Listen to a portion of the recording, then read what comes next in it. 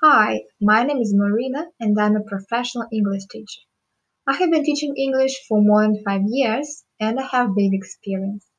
I will give you informative and interesting lessons, help you to overcome all the difficulties you meet learning English. I'll make you confident in speaking and writing.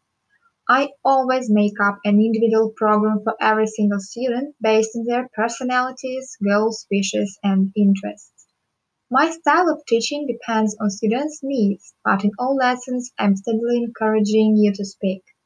My only interest is to have your result, and I will do my best to achieve it. Looking forward to seeing you in my classes.